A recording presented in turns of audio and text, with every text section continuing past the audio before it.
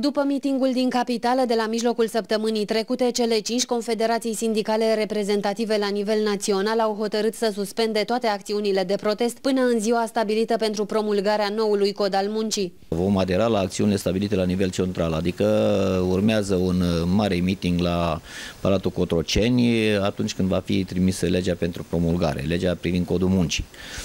Uh, sigur că vom, uh, în continuare vom respecta calendarul stabilit de sus, că izolat nu putem uh, să acționăm cât om fi noi de radicali. Liderul Uniunii Sindicatelor din Învățământ, Gorj, spune că salariații pe care îi reprezintă sunt de acord în proporție de peste 90% cu declanșarea grevei generale. În ceea ce privește mitingul din ziua promulgării noului cod al muncii, se preconizează să se adune peste 50.000 de manifestanți. La protest vor participa pe lângă membrii din cele 5 confederații sindicale și studenți, pensionari, dar și salariați care nu fac parte dintr-o organizație sindicală.